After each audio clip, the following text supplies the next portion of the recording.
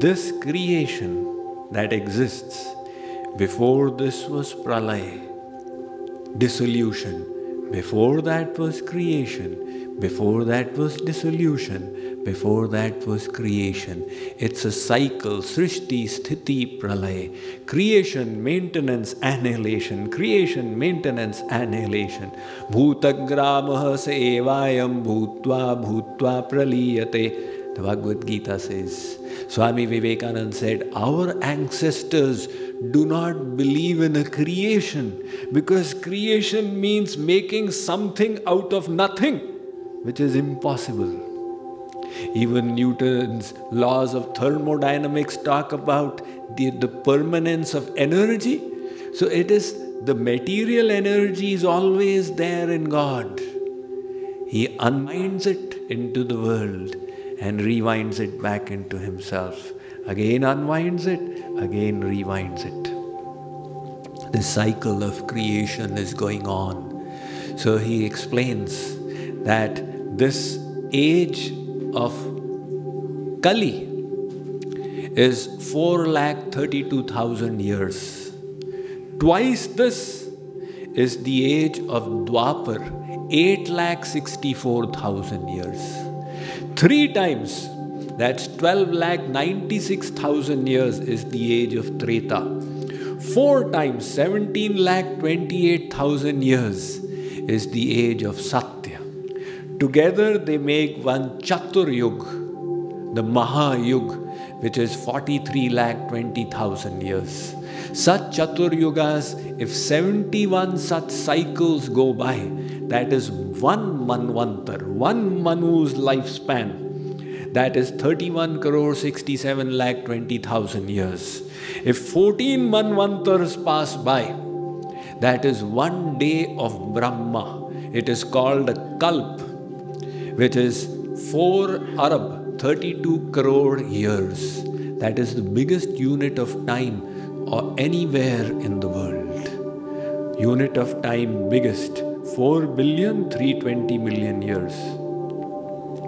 You see, modern science tells us that this universe is 14 billion years. And here we've got a unit of time which is 4 billion 320 million years. Can you have a bigger unit of time than that? That is one day of Brahma. Equal to that is one night of Brahma. By the system of day and night, Brahma lives for a hundred years, which is 31 Nil, 12 Kharab and 40 Arab years. Our Chaturmukhi Brahma, the four-headed Brahma of our universe. There are other universes as well. We only know of our universe.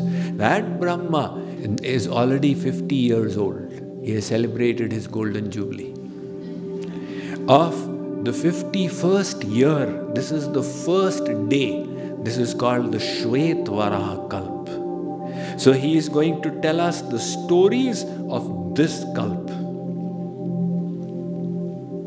Now somebody may say, Swamiji, this is totally far-fetched.